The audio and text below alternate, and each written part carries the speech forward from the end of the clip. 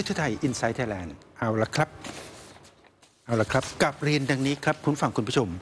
การจะไปร่วมถวายดอกไม้จันทร์ในพระราชพิธีถวายพระเพลิงพระบรมศพในหลวงรัชกาลที่ 9 นั้นน่ะนะครับ นอกจากจะไปถวายได้ที่มณฑลพิธีท้องสนามหลวงแล้ว ยังสามารถที่จะ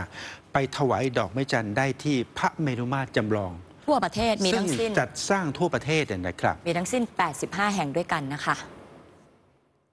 จัดสร้างอยู่ในอำเภอเมืองของ 76 จังหวัดทั่วประเทศค่ะนอกจากนั้นในเขตกรุงเทพปริมณฑล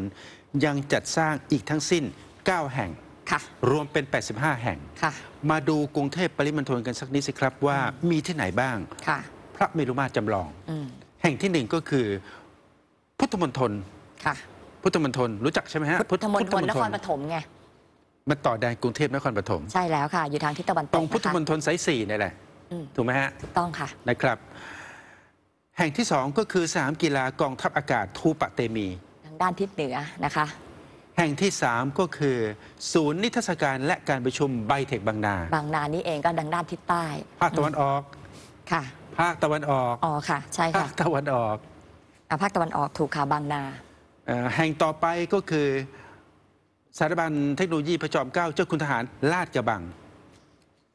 ลาดกระบัง ใช่ลาดกระบังใกแล้วก็ล้ๆสุวรรณภูมินั่นแหละค่อนไปทาง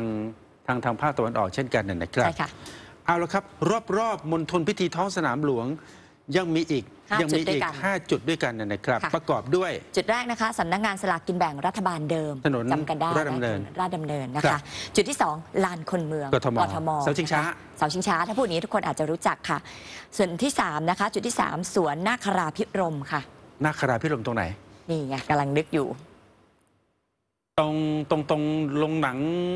เอ่อเฉลิมไทยเก่าหรือเปล่า ไม่แน่ใจไม่แน่ใจ ค่ะ ถัดไปครับเป็นบริเวณอนุสาวรีย์รัชกาลที่1ค่ะ ครับถัดและไปครับ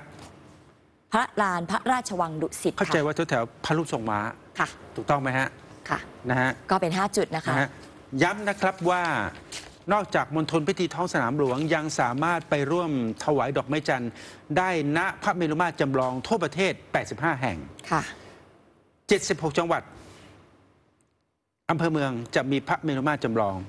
กรุงเทพปริมณฑลจะมีทั้งสิ้นอีก 9 แห่งด้วยกัน รวมเป็น 85 รวมเป็น 85ค่ะนะนอกครับจากนี้ นอกจากนี้ก็ยังมีซุ้มถวายดอกไม้จันทร์ในเขตกรุงเทพมหานครอีก 113 แห่ง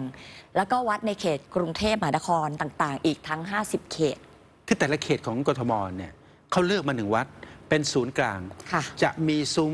รับการร่วมถวายดอกไม้จันทร์ใช่แล้ว เป็นการกระจายไม่ต้องมากระจุกตัวอยู่ที่มณฑลพิธีท้องสนามหลวงนะปคะระชาชนต่างจังหวัดละครับ ส่วนประชาชนในพื้นที่ต่างจังหวัดทั่วประเทศนะคะ ก็สามารถที่จะร่วมกันถวายดอกไม้จันทร์ได้ที่ นอกจากพระเมรุมาตรจำลองแล้วนะคะ ที่กระจายอยู่ในจังหวัดต่างๆ แล้วนะคะ ก็ยังมีซุ้มถวายดอกไม้จันทร์ที่จัดตั้งขึ้นในพื้นที่ทั้งสิ้นนะคะ 878 อำเภอทั่วประเทศ รวมทั้งในต่างประเทศด้วยค่ะ เอาละครับ เอาละครับ เราจะปิดท้ายเบรกนี้ด้วยเรื่องอุบาทของของของคนบางกลุ่ม ค่ะ ไปฟังพลเอกเฉลิม